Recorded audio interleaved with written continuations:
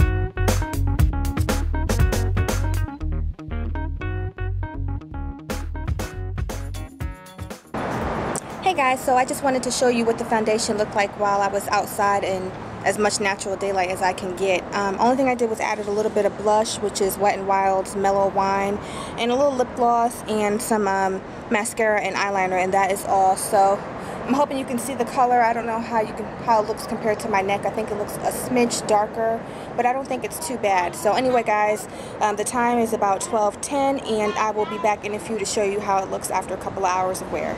Hey everyone, I am back and the time is 4.52 p.m. and it is 73 degrees outside. So it's been very mild out there today. And this is what my skin looks like. Um, like I said, I have not primed, I did not apply a powder, and I did not blot throughout the course of the day. And it's working on almost five hours. And I would have recorded this a little bit later in the, you know, towards the evening. But I know that I would lose the natural sunlight or whatever light is out there. So I just had to record it, you know, when I had the chance. So this is what my skin skin looks like. I am going to be looking over there in my monitor, so don't feel like I'm not talking to you. I'm still talking to you. okay, so I think that my skin has like a little bit of a glow going on. I wouldn't say that it was oily um, when I pat my fingers, I'm not really picking up any residual oil. I would just say that's just the natural glow of, the, you know, of my skin. So I think that the foundation looks pretty good. Um, like I said, I do believe the foundation, for me at least, is medium coverage. For some people, it might be a full coverage, but for me, I kind of tested along the areas where I have um, issues like my hyperpigmentation and that's not fully covered. And around my mouth you can still see the little bit of discoloration I have on the sides of my jaw. But other than that I think it looks pretty good. I think it gives a nice natural finish. I don't feel heavily made up. I don't feel like I'm really wearing anything at all. And that's definitely a plus because I don't like that feeling of foundation just sitting on your skin. So I definitely did not get that throughout the whole day. And like I said I don't have on a powder I haven't blotted I haven't done anything to alter the look of the foundation. So this is what it looks like on its own. I do think that I could stand some under eye concealer. I feel that it didn't cover that area quite as nicely as I would have liked it to. But other than that, I don't really have any complaints about the foundation. Um, I did state in my last video that I would possibly get a lighter shade and I'm not sure if I'm going to do that or not or just kind of work with this one. I might just test it out again and see if I use it with my uh, setting powder, how that turns out. And I don't know, I don't I, I know when I swatched it on my hands, I found that on the edges of the foundation it started to darken up really fast. And I don't really see I don't know I don't really feel like that happened on my face. And that might be because you know the, the swatches were just you know they were just there. They weren't blended out or anything. So I still feel that it does oxidize some, but I don't know if it's like a full shade is what I originally have thought it was. Now this is how it looks in compared to my decollete and it is you know there is a slight color difference. I wouldn't say it was too bad or too noticeable. And I kept on looking in the mirror throughout the course of the day because I'm like I don't want to be out here looking crazy because I felt kind of bare because I didn't set it with the powder or do anything else to it and just wore it you know on its own. And I knew the color was slightly off so I'm like oh my gosh I hope I'm not looking crazy. But anyway this is what the foundation looks like.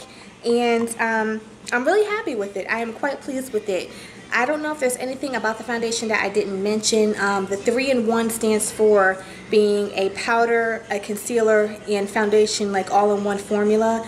I would say that if you have dry skin, make sure you moisturize your skin really well. You might want to exfoliate the night before or something like that because I, I would say that this would stick to like dry patches if you have anything like that on your face and it does has uh, does does has what it does have SPF of 20 which is awesome even though I use um, sunscreen daily anyway but for people who don't this does have SPF of 20 and I don't know if there's anything else that I haven't said about the foundation you guys be the judge on how it looks but I think it looks pretty well I think that the coverage is just enough for what I need. Um, you know, some people prefer an extreme full coverage. I just want something that's going to just, you know, even me out somewhat, make me look a bit more polished and look like I took some time to do something in the morning, even though usually I don't have a lot of time running around with the little one. But anyway, that is all. So if you guys have any more comments or any additional questions or anything like that, please feel free to leave them. And I guess I will see you on the next one. So